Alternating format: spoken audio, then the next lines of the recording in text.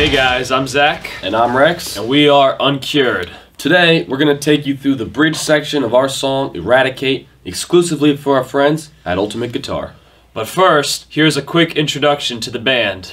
Zak and I have been playing guitar together for eight or nine years now, and we started writing our own music right away. We released our first EP, Spontaneous Generation, in 2016 when I was 15 and Zak was 17. A year later, in 2017, Uncured released its first full length album, Medusa. The album received great reviews and was selected as a top 10 metal album of the year by Axis.com.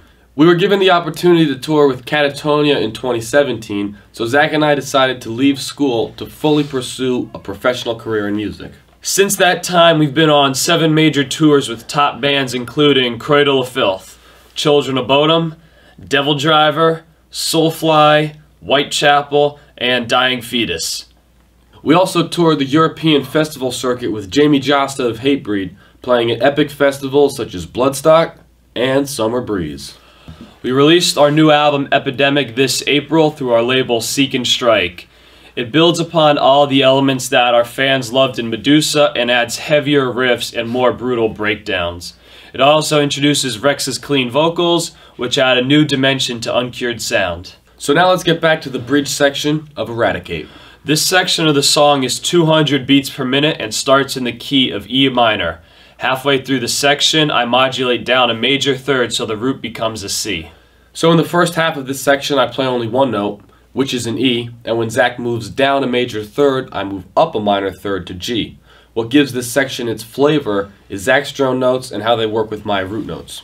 When I'm playing an E, I use the open B string as a drone note, which is a fifth above Rex's root, and in the next half, my drone note is a G, and Rex's root is a G. The coolest thing about this section of the song is that it's a polymeter.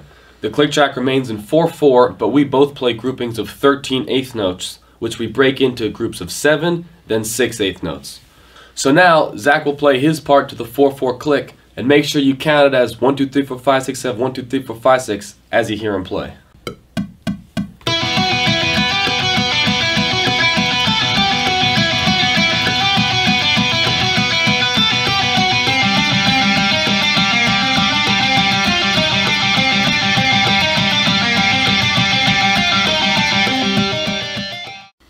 The polymeter doesn't recycle perfectly in 4-4, so the click stays in 4-4 for 6 measures, then uses a 2-4 tag measure to reset the section.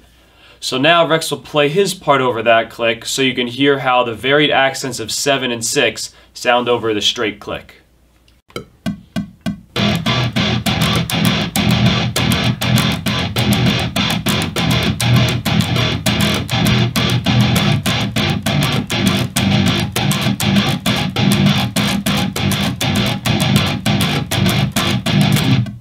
Now we're both going to play together over the 4-4 click.